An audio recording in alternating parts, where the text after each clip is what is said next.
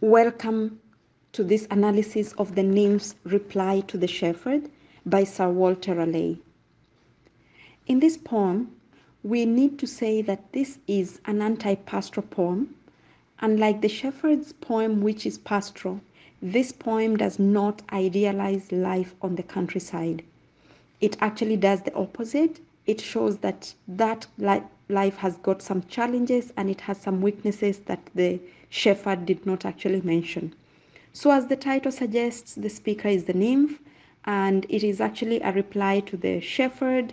And here, just like in the Passionate Shepherd, the nymph is using um, the first person point of view, or rather, the poet decides to use the first person point of view, whereby we have I and me pronouns to indicate the speaker is in the first person. Um, this poem equally has rhyme. Uh, it has a regular rhyme scheme. Every stanza has four lines, which we call quatrains. Uh, every two lines, or rather, the couplets have the same rhyme and they actually use the same sound at the end. So we have a rhyme scheme here, which is AA for the first two sounds, BB for the next, and for the second stanza, it continues to C, C, D, D, and so on. So you can equally find the rhyme for the whole poem using that pattern. The poem has a refrain, that line that is repeated and can be used actually to judge whether the poem has a certain theme that is indicated within the lines. We have the line, to live with thee and be thy love. This line is repeated in line 4, line 20, and line 24. It actually guides us on what the theme of this poem is, and it gives us a clue that this poem is about to talk about love. On tone, this nymph is very realistic, and so we say that the tone of this poem is realistic. Now, moving on to the stanza by stanza analysis. In the first stanza, we see that here the nymph is replying to the shepherd's request and she actually dismisses what he has offered. She doesn't think these gifts are very promising, and so she thinks these are petty pleasures. She says that this possibly could sway her only if she lived in a perfect world without any worries, and if everything was perfect in her world, then she would actually accept. Of course, we understand this. She means that no, because she actually doesn't live in a perfect world. On to the second stanza. Here, the speaker describes how time changes and how the natural world will, of course, change with the seasons. And she reminds the shepherd that actually there will be times that he will actually need to follow up on his duties. He will have work. So, in as much as he tries to paint in her world that they will just sit and watch and enjoy life. She wants him to remember that he actually has duty, like driving the flocks to the fold back.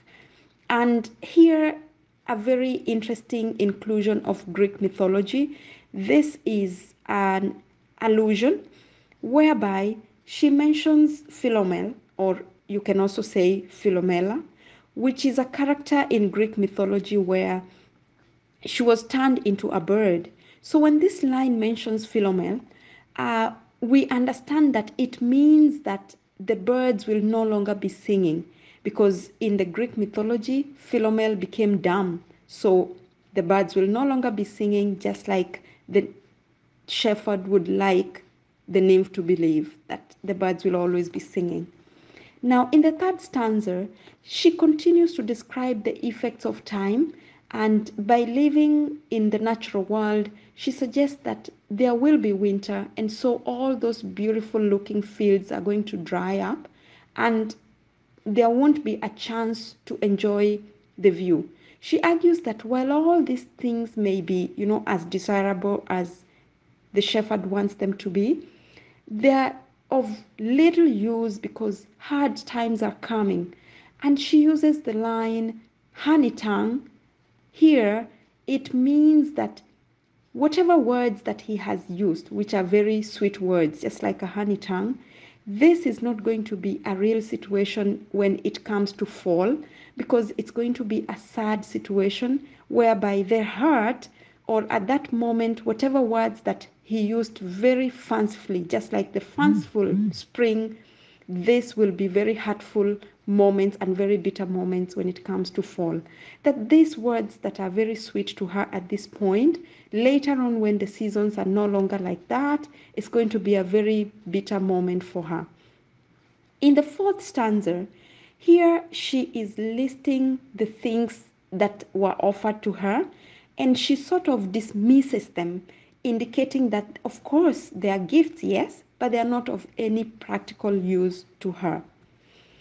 In the fifth stanza, the speaker lists yet another set of the examples of gifts that the shepherd promised to give, but she indicates here that these are not enough uh, to sway her so that she can move and be with the shepherd. She denies that it is not so powerful to have these things, so she sort of doesn't think that she needs to move and live with the shepherd.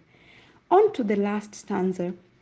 At this very end, uh, the speaker concedes again or accepts in a way that uh, she would only come and uh, live with the shepherd if the world she is living in was perfect. She would actually accept. And as well, if youth lasts forever, you know, if love still breeds, if love is a permanent thing and always breeds at all seasons and all times, and if youth doesn't, you know, doesn't cease or doesn't end, there is no end to being young, then she's willing to come and live with the shepherd.